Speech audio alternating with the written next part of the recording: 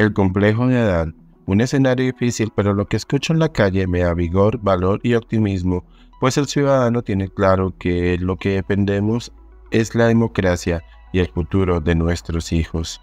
Que otros se dediquen a la política electoral, eso está bien y es necesario, pero yo, como ha sido mi historia, me quedo en la calle, puesto apenas está empezando. Por Francisco Santos para la revista Semana. Imposible encontrar una mejor manera de definir este concepto, el complejo Adán, que es el que nos dio la ya famosa o infame, dirán otras directoras del DPS, Cielo Rusinque, en un trino de ayer.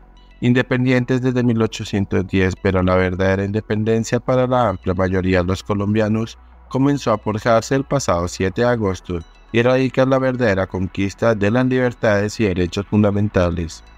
Nadie dijo que sería fácil, el presidente Gustavo Petro también sufre ese complejo, al igual que gran parte de su gabinete, cuando dice que es la primera vez que un presidente lidera un desfile del 20 de julio en San Andrés, o después en su discurso agrega que desde Bogotá pensaban que San Andrés era un balneario para comprar equipos de sonido.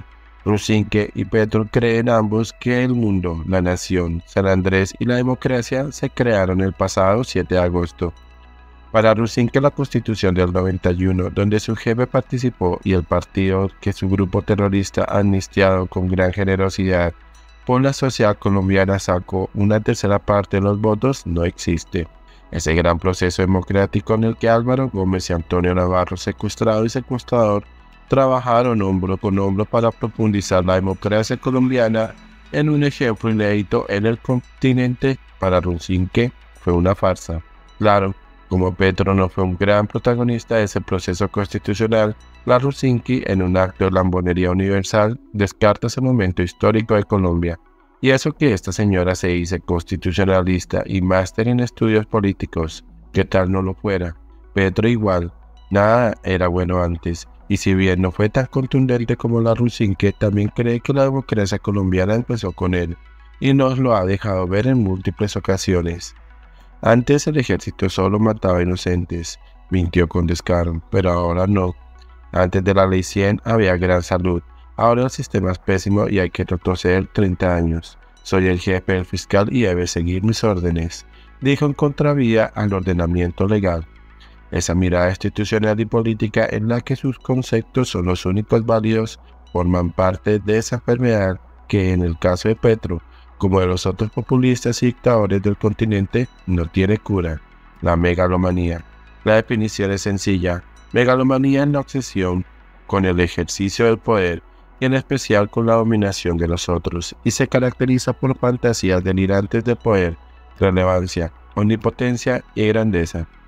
El megalómano tiene una autoestima excesiva y se siente omnipotente, por eso mienten sin problema y reinterpretan la realidad a su manera a interés para lograr sus objetivos. El megalómano fuerza su verdad en los otros y no tiene capacidad de autocrítica. Y, como si fuera poco, tiene cero empatía. Gustavo Petro no es el único, pero sí el más extremo caso de megalomanía en nuestra clase política. Bogotá en las últimas cinco administraciones ha tenido exceso del complejo de Adán y por eso no tenemos un transmilenio terminado y varias líneas del metro diseñadas y en ejecución. Cada alcalde llegó con su propia idea y su ego no lo dejó construir sobre lo construido. La séptima es el mejor caso. Pasó de Transmilenio con Peñalosa a Tranvía con Petro, a Transmilenio nuevo con Peñalosa, por lo menos es coherente, y al Corredor Verde con Claudia López. Y eso, que es la vía más importante del corredor oriental de movilidad de la ciudad, ni hablar del nivel nacional en el que Santos, para no parecerse a dejó de lado la política de seguridad y se embarcó en un proceso de paz que dividió al país y le pasó cuenta de coro en el plebiscito.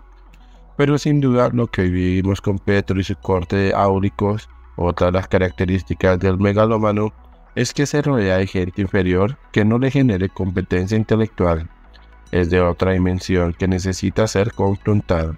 Pero muchos se preguntan, ¿cómo se confronta si es el presidente? Lo primero es establecer límites claros. Las marchas son un buen comienzo y Petro ya sabe que la ciudadanía está activada. Pero él todavía piensa, primero, que tiene el poder de convocar, que no lo tiene, y segundo, que quienes marchan contra él son apenas unos pocos burgueses, que tampoco es cierto. La capacidad de movilizar no se puede perder, debe crecer y debe estar lista para aumentar la presión cuando cruce las rayas rojas institucionales que afecten la libertad, el modelo económico y la democracia. Obviamente también están los mecanismos legales que, sumados a la presión popular, pueden evitar los desbarajustes que puedan venir y de paso reforzar los límites que un presidente como Petro y sus acólitos necesitan. Decisiones de las Cortes y su reacción a la declaración sobre el fiscal son buenos ejemplos. Finalmente hay que tener claro que sin empatía no hay consensos posibles y esta característica de la egomanía se vio en todo su esplendor en los discursos de Petro San Andrés y en el Congreso. Eso solo quiere decir una cosa, la presión en la calle para defender la democracia se debe mantener y no perderles el ojo a esas milicias que quiere crear, o colectivos como les dicen en Venezuela, pues ya vemos cómo actúan contra la oposición hoy en Venezuela y cómo pueden actuar acá. Un escenario difícil, pero lo que escucho en la calle me da vigor, valor y optimismo pues el ciudadano tiene claro que lo que defendemos es la democracia y el futuro de nuestros hijos. Que otros se dediquen a la política electoral. Esto está bien y es necesario, pero yo, como ha sido mi historia, me quedo con la calle. Esto apenas está empezando.